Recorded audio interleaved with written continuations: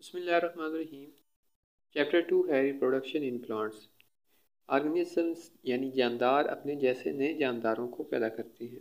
The process of producing new organisms from their parents is called reproduction वालदेन अपने जैसे नए ऑर्गेनिजम्स को पैदा करते हैं प्लांट्स अपने जैसे नए प्लांट्स को पैदा करते हैं।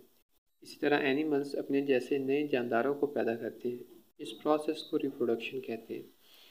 Reproduction ensures that a group of organisms does not appear from Earth. Reproduction ज़मीन के ऊपर ज़िंदगी का जामिन है। अगर एक आर्गेनिज्म या ग्रुप ऑफ़ आर्गेनिजम्स रिप्रोडक्शन करना छोड़ दें तो उनका नाम निशान ज़मीन से मिट जाएगा। This process is very important for the continuation of life on Earth reproduction का प्रोसेस ज़मीन के ऊपर ज़िंदगी का तसलसल कायम रखने के लिए, ज़िंदगी की बका के लिए बहुत ज़रूरी है। नए ऑर्गेनिजम्स आते रहें, नए प्लांट्स हमें दिखते रहें और नए नए एनिमल्स आते रहें, इसके लिए रिप्रोडक्शन बहुत अहम है। Plants reproduce by two ways plants में रिप्रोडक्शन दो तरह से होती है सेक्शुअल रिप्रोडक्शन और ए सेक्शुअल रिप्रोडक्शन प्लांट के कुछ पार्ट्स को हम रिप्रोडक्टिव पार्ट्स कहते हैं और कुछ को vegetative parts reproductive part plant का फ्लावर होता है फ्लावर को प्लांट का रिप्रोडक्टिव पार्ट कहते हैं while all other plants parts are vegetative parts बाकी जितने भी प्लांट के पार्ट्स हैं, जिसमें रूट स्टेम और लीव्स आ जाते हैं, वो वेजिटेटिव होते हैं। Vegetative parts asexual reproduction में हिस्सा लेते हैं और रिप्रोडक्टिव पार्ट यानी फ्लावर सेक्शुअल रिप्रोडक्शन में हिस्सा लेता है। Sexual reproduction sexual reproduction involves the formation of and fusion of male and female gametes sexual reproduction में मेल और फीमेल गैमीट्स बनते हैं और फिर मेल और फीमेल गैमीट्स आपस में फर्टिलाइज करते हैं, आपस में मिल जाते हैं।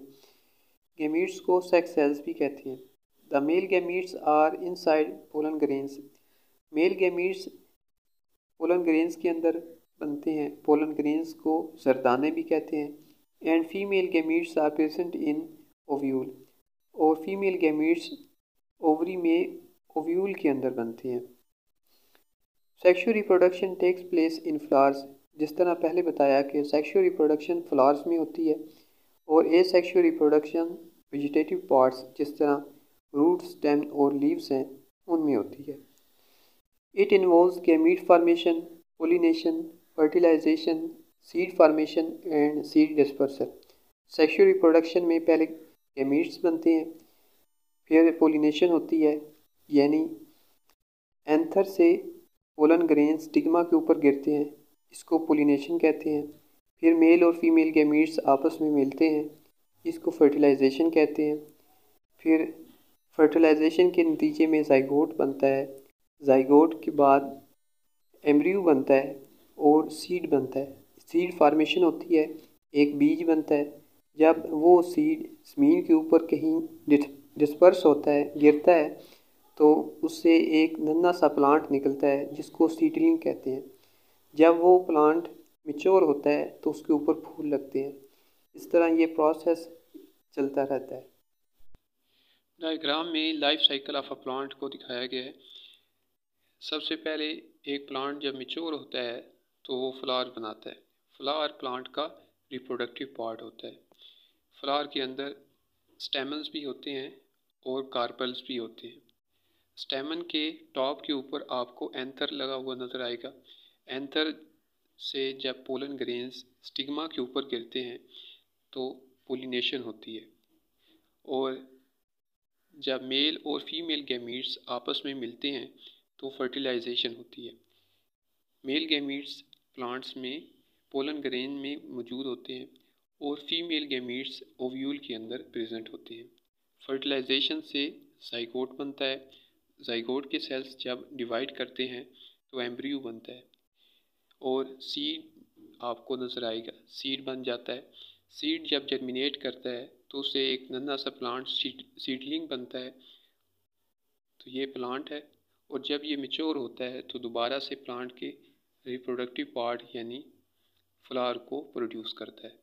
इस तरह ये लाइफ साइकिल प्लांट का जारी रहता है। नेक्स्ट है asexual reproduction asexual reproduction plant के वेजिटेटिव पार्ट्स यानी रूट स्टेम और लीफ से होती है। ए सेक्शुअल रिप्रोडक्शन के लिए आपको सीड की ज़रूरत नहीं होती। Asexual reproduction involves formation of new plants from vegetative parts like root, stem and leaves. Asexual reproduction में नए plants plant के vegetative parts से बन जाते हैं। This type of reproduction is आज कॉल्ड वेजिटेटिव प्रोपोगेशन इसलिए ए सेक्शुअल रिप्रोडक्शन को हम वेजिटेटिव प्रोपोगेशन भी कहते हैं। प्रोपोगेशन का मतलब होता है नई आगे नस्ल चलाना, नई ऑर्गेनिजम्स पैदा करना। It does not require flower और सीड फार्मेशन इसके लिए आपको फ्लावर या सीड की ज़रूरत नहीं होती। Asexual reproduction produce organisms identical to their parents called clones Asexual reproduction के नतीजे में पैदा होने वाले नए ऑर्गेनिजम्स बिल्कुल अपने वालदेन जैसे होते हैं। ऐसे ऑर्गेनिज्म जो बिल्कुल अपने वालदेन की तरह हों, उनको हम क्लोन्स कहते हैं। While sexual reproduction creates new varieties लेकिन सेक्शुअल रिप्रोडक्शन के नतीजे में पैदा होने वाले नए ऑर्गेनिज्म अपने वालदेन से मुख्तलिफ़ होते हैं। ऐसे ऑर्गेनिज्म में तरह तरह की वराइटीज़ आप देख सकते हैं। फॉर एग्ज़ाम्पल ये फ्लावर्स ए सेक्शुअल रिप्रोडक्शन से बने हैं, क्योंकि इनमें कोई वराइटीज़ आपको नज़र नहीं आ रही। लेकिन ये फ्लावर्स देखें तो आपको तरह तरह की वराइटीज़ नज़र आएँगी। यानी ये फ्लावर्स सेक्शुअल रिप्रोडक्शन से पैदा हुए हैं। Clones are genetically identical organisms जिस तरह हमने पहले देखा कि क्लोन्स ऐसे आर्गेनिजम्स को कहते हैं जो ए सेक्शुअल रिप्रोडक्शन के ज़रिए पैदा हुए हों। ऐसे आर्गेनिजम्स बिल्कुल अपने वालदेन जैसे होती हैं। क्लोन्स का अगर डीएनए देखें, उनके जीन्स देखें तो वो भी आपस में एक जैसे होंगे। Vegetative propagation produces natural clones in the form of crops आजकल वेजिटेटिव प्रोपोगेशन यानी ए सेक्शुअल रिप्रोडक्शन के ज़रिए ऐसी फ़सलें तैयार की गई हैं, जिनको ग्रो कराना आसान है, जिनके लिए लो कॉस्ट यानी कम लागत लगती है, और ऐसी फ़सलों को पानी की भी कम ज़रूरत होती है।